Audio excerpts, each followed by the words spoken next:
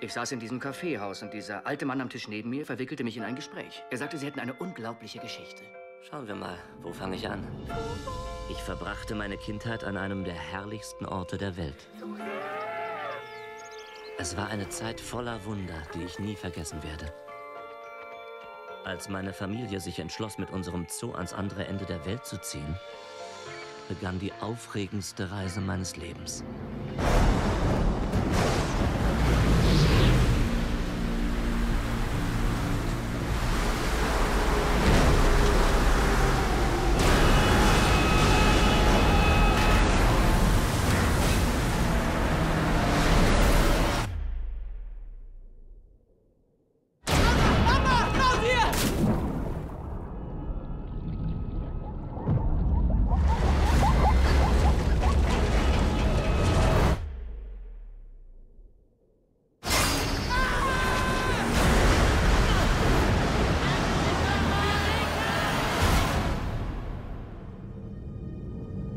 Diesen Teil meiner Geschichte werden Sie mir kaum glauben.